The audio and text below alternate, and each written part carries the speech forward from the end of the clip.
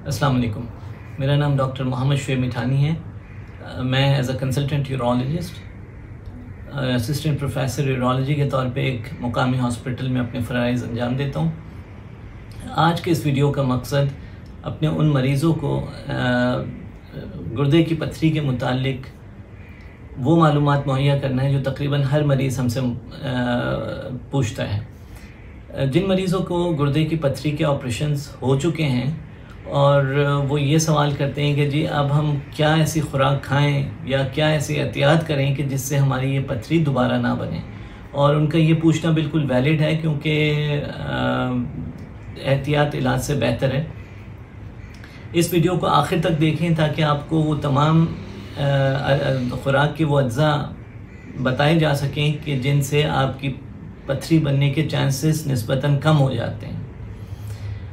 एक ज़रूरी बात वो ये कि ये जो मालूम इस वीडियो में बताई जा रही है, वो किसी एक शख्स या एक इंडिविजुअल की सजेशन नहीं है कि जी मेरा तजुर्बा ये कहता है, बल्कि ये इसके पीछे साइंटिफिक नॉलेज है और हज़ारों के हिसाब से आर्टिकल्स हर साल दुनिया के मुख्तलिफ़ मेडिकल जर्नल्स में पब्लिश होते हैं, जिसमें ये रिसर्च सामने आती है कि जी फ़लाँ चीज़ खाने या फ़लाँ चीज़ ना खाने से गुर्दे की पथरी के बनने का अमल हल कम किया जा सकता है या रोका जा सकता है।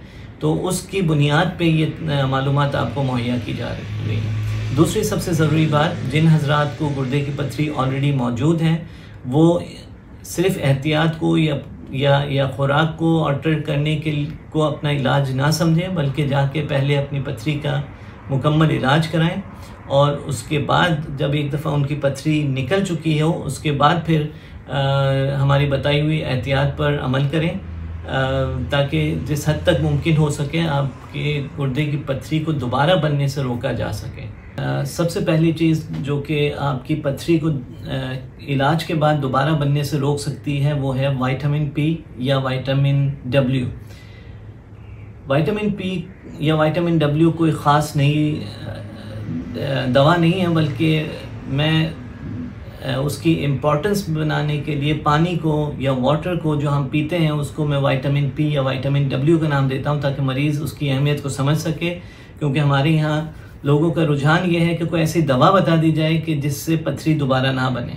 तो ये विटामिन पी या विटामिन डब्ल्यू इतनी ज़बरदस्त दवा है जो कुदरती तौर पे हमें मौजूद हमारे पास मौजूद है कि जिससे पथरी बनाने का अमल काफ़ी हद तक कम किया जा सकता है, बन का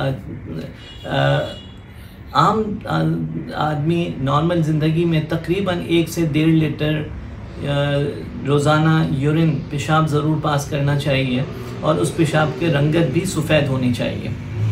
और तकरीबन डेढ़ लीटर पेशाब बनाने के लिए ढाई से तीन लीटर पानी या तकरीबन साढ़े तीन लीटर पानी पीना ज़रूरी है। इसका मतलब ये है कि नॉर्मल आदमी को अपनी 24 घंटे में कम से कम 12 गिलास नॉर्मल साइज़ के पानी पीना चाहिए। जो हज़रत घर से बाहर काम करते हैं, धूप में उनका एक्सपोजर ज़्यादा है या किसी गर्म जगह पे अपना काम करते हैं तो उनको अपने चौबीस घंटे में पानी की मकदार तकरीबन तीन से चार गिलास मज़ीद बढ़ा लेनी चाहिए। जब मैं पानी का लफ्ज़ इस्तेमाल करता हूँ तो उसमें आप अगर कोई और मशरूबात इस्तेमाल करते हैं, यानी दूध, दही लस्सी या कोई और मशरूबात इस- इस्तेमाल करते हैं पानी की की जगह पे तो वो भी इसमें साथ शामिल हैं। अलबत्ता जो किडनी फेलियर के जो मरीज़ हैं, जिन लोगों के किडनी फेल हो चुके हैं या उनका गुर्दे का एक जो टेस्ट होता है क्रिएटिनिन जिसे कहा जाता है, और अगर डॉक्टरों ने उनको पानी की मकदार कम पीने का मशवरा दिया है तो बरए मेहरबानी वो इस बात को समझ लें कि उनके लिए 12 गिलास या 14 गिलास पानी पीना उनके लिए जस्टिफाइड नहीं है। वो अपने डॉक्टर के मशवरे के मुताबिक अमल करें। हमारी हिदायत मरी, उन मरीज़ों के लिए है जिनका पथरी का इलाज हो चुका है, और उनको ना ही कोई और गुर्दे की बीमारी है, ना दिल की कोई बीमारी है, जिसमें उनको पानी की कोई रिस्ट्रिक्शन दी गई है पीने की। उनसे मुतालिक ये हिदायत। है दूसरे नंबर पे, खुराक में नमक का इस्तेमाल। हमारे यहाँ खानों में आम तौर से हम बहुत ज़्यादा नमक इस्तेमाल करने के शौकीन होते हैं। हमारे यहाँ के जो पाकिस्तानी इंडियन खाने होते हैं, उसमें पहले ही नमक और इस तरह के और कई एक मसाला जात इस्तेमाल होते हैं, जिसमें नमक और नमक से मिलते जुलते और ऐसे केमिकल्स इस्तेमाल होते हैं, जो कि पथरी बनाने का सबब बनते हैं। आ, हमारे यहाँ लोग घर से बाहर के खाने के बड़े शौकीन होते हैं और चलते फिरते समोसे चाट बिरयानी इसी तरह के चटपटे और खाने जो हैं वो रास्ते में चलते फिरते लोग खाते रहते हैं। और बाज़ एक लोग तो रोज़ाना बाहर के खाने के शौकीन होते हैं। आप यकीन करें कि बाहर पकने वाले खाने जिसमें जिसमें बहुत ज़्यादा टेस्ट मौजूद होता है उन खानों में ना सिर्फ़ ये कि नमक की खासी मकदार मौजूद होती है नमक के अलावा चंद एक ऐसे अज्जा भी मौजूद होते हैं जो शायद मुझे और आपको उन उन नमकियात का इदराक भी ना हो और उसमें मौजूद होते हैं ताकि उसका टेस्ट बढ़ाए बढ़ जाए। और ये नमक आखिरकार हमारे गुर्दे से होते हुए पेशाब के ज़रिए खारिज होने होते हैं जो कि पथरी बनने का सबब बनते हैं। आजकल के दौर में ख़ास तौर से एक और नया ट्रेंड चल पड़ा है कि खाने मंगवा लिए जाते हैं या स्कूल कॉलेज यूनिवर्सिटीज़ और जॉब पर नए लोग जो अपनी, अपना काम शुरू करते हैं, वो डील्स मंगवा कर पिज़्ज़ा बर्गर और इसी तरह की फ्रेंच फ्राइज़ और चिप्स वगैरह के बड़े शौकीन होते हैं। और इस, और ये एक बहुत बड़ी वजह है हमारे यहाँ पथरी बनने की। और हम इस नए ट्रेंड की वजह से कई मरीज़ यंग एज में पथरी के साथ देखते हैं जो पहले नहीं देखे जा सकते थे। तो नमक का इस्तेमाल कम करें जो खाने में नमक डला हुआ है उसको कम करें इससे आपका ब्लड प्रेशर भी कंट्रोल कम रहेगा और पथरी के मामला में भी आपको आ, मदद मिलेगी। तीसरे नंबर पे आ, एक और अहम चीज़ वो है सिट्रेट सिट्रेट का इस्तेमाल बढ़ाना आपकी पथरी के बनने के अमल को रोकता है, कम करता है, यानी आपको गुर्दे की पथरी बनने के इम्कान कम हो जाते हैं। सिट्रेट एक केमिकल है जो कि हमारी खुराक में शामिल होता है और वो ऑक्सीलेट के साथ मिलके उसको पेशाब में खारिज कर देता है ताकि पथरी ना बन सके। ना सिर्फ़ ये कि ऑक्सलेट को वो खारिज करता है, बल्कि यूरिक एसिड से बनने वाले स्टोन्स को भी की भी होने के जो चांसेस हैं उसको कम करता है। अब सिट्रेट को कैसे कहाँ से हासिल किया जाए कैसे इस्तेमाल किया जाए सिट्रेट एक बहुत आम सी केमिकल है जो कि बहुत सारी खुराक में हमारे हमारी खुराक में ऑलरेडी मौजूद है मसलन लीमू मौसम्बी अंगूर आ, इसी तरह तरबूज़ के अंदर बहुत वाफिर मकदार में सिट्रेट मौजूद है। हमारे यहाँ पाकिस्तान में बहुत ज़्यादा कीनों का की फ़सल होती है और और मौसम में बहुत ज़्यादा कीनों आसानी से अवेलेबल होते हैं। तो अगर ये आदत बना ली जाए कि मौसम में रोज़ाना एक या दो कीनों इस्तेमाल कर लिए जाएँ तो इससे सिट्रेट की बहुत अच्छी मकदार आपको मिल जाएगी। बाकी पूरा साल जो है अगर ये आदत बना ली जाए कि एक लीमू पानी में निचोड़ के दिन में एक दफ़ा पी लिया जाए तो उससे भी सिट्रेट की अच्छी खासी मकदार मिल जाती है। गो के सिट्रेट की दवा की सूरत में गोलियों की शक्ल में भी अवेलेबल है। लेकिन अगर अगर कुदरती तौर पे सिट्रेट इस्तेमाल किया जाए तो वो यकीनन दवा की सूरत में इस्तेमाल किए जाने वाले सिट्रेट के मुकाबले में ज़्यादा फ़ायदा करता है। तो सिट्रेट की मकदार बढ़ाई जाए, इससे आपका पथरी बनने का अमल काफ़ी हद तक कम हो सकता है। अगली चीज़ है, गोश्त का इस्तेमाल। हमारे यहाँ बहुत सारे लोग मुस्तकिल और काफ़ी वाफिर मकदार में गोश्त खाने के शौकीन होते हैं। एनिमल प्रोटीन या गोश्त, ये गुर्दे की पथरी बनाने का एक बहुत अहम जुज्व है, जिससे जो लोग रोज़ाना और काफ़ी वाफिर मकदार में गोश्त इस्तेमाल करते हैं। उनको इस बात के लिए ख़बरदार रहना चाहिए कि उनमें पथरी बनने के चांसेस या अगर वो पथरी पहले इलाज करवा चुके हैं, उसके बाद दोबारा से पथरी आने के चांसेस बहुत ज़्यादा हैं।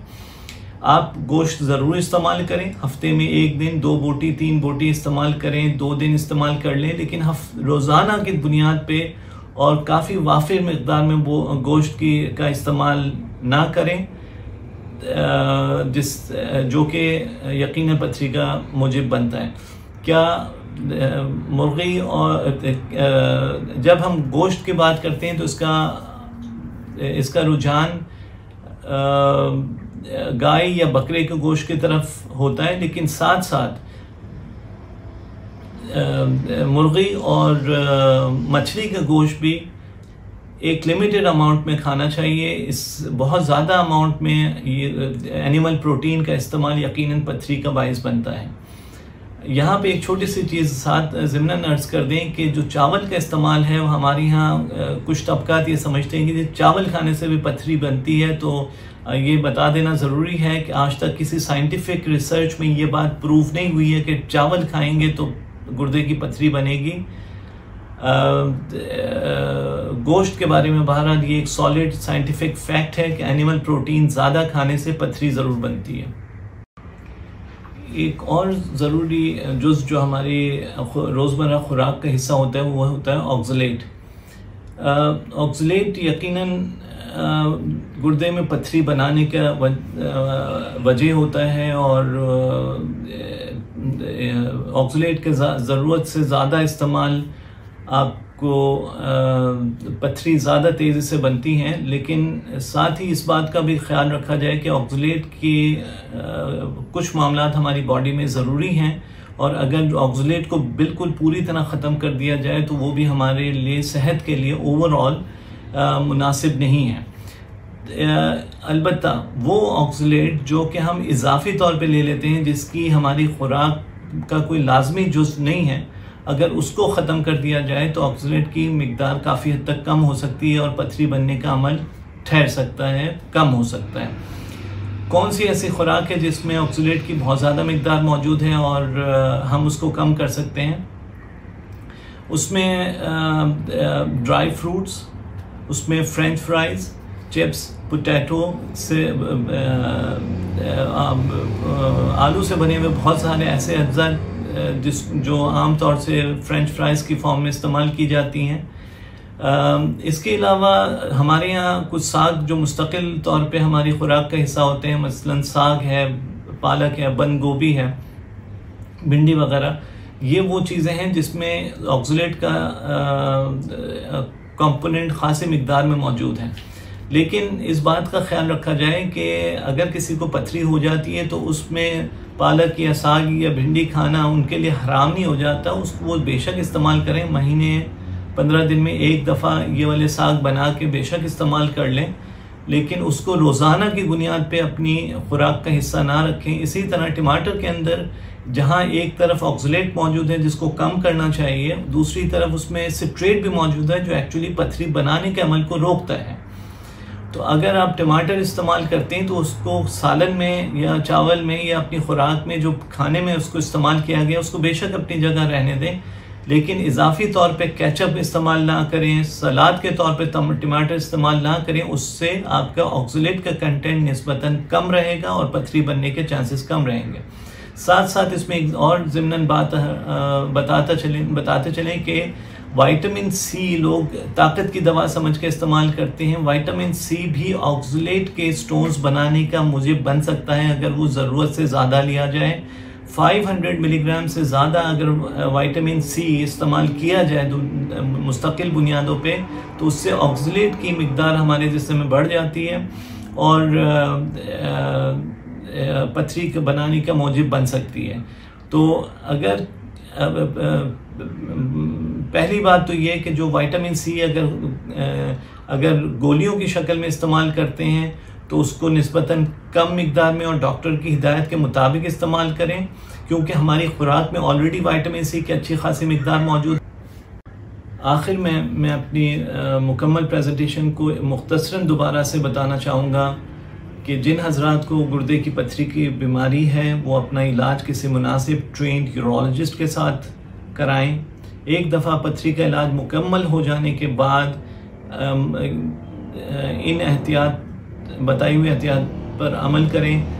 नंबर एक, पानी का इस्तेमाल मुकम्मल करें। तकरीबन 12 से 14 गिलास रोज़ाना पानी इस्तेमाल करें। यूरिन का कलर सफ़ेद रहना चाहिए और तकरीबन दिन में डेढ़ से दो लीटर यूरिन ज़रूर पास हो। नमक का इस्तेमाल और ऑक्सीलेट का इस्तेमाल अपनी मकदार में कम करें। ये दोनों अज्जा पथरी को बनने का और पथरी, बनी हुई पथरी को बढ़ने में मददगार साबित होते हैं। इसकी मकदार कम करने से ना सिर्फ़ ये कि पथरी बनने की साइज़ की रफ्तार कम हो जाएगी, बल्कि अगर छोटी मोटी पथरियाँ हैं तो वो डिज़ोल्व होके खारिज भी हो सकती हैं। अपनी खुराक में सिट्रेट का इस्तेमाल बढ़ाएँ। सिट्रेट का इस्तेमाल बढ़ाने का बहुत आसान तरीका फ्रूट्स का इस्तेमाल है, मौसम्बी, कीनू और लेमन का इस्तेमाल बढ़ाएँ। पूरा साल अपनी आदत रखें कि दिन में एक लेमन ज़रूर पानी में निचोड़ के पियेंगे। डेयरी प्रोडक्ट इस्तेमाल करें जिसमें दूध दही लस्सी वगैरह का इस्तेमाल है। इससे मिलने वाला कैल्शियम आपके लिए पथरी बनाने का नहीं बल्कि पथरी कम करने का मौजूद होता है। अगर आप कैल्शियम की गोलियाँ इस्तेमाल करते हैं तो उससे पथरी बनने का अमल ज़्यादा तेज़ी से बढ़ता है और पथरी बन सकती है। और आखिर में सेल्फ मेडिकेशन को अवॉइड करें। आ, आ, किसी मुनासिब ट्रेंड यूरोलॉजिस्ट से अपना इलाज करवाएँ। और सिर्फ़ घरेलू टोटकों पर इसार ना करें। किसी दिन आपकी पथरी, आप, गुर्दे की पथरी आपके लिए तकलीफ़ बेशबहा तकलीफ़ का बायस बन सकती है। इसलिए वक्त से पहले उसका इलाज मुकम्मल करें और सेहतमंद रहें। बहुत शुक्रिया। तमाम अमराज की तफसीली मालूम के लिए आइंदा आने वाली वीडियोज़ मुलायजा करते रहें। बहुत शुक्रिया।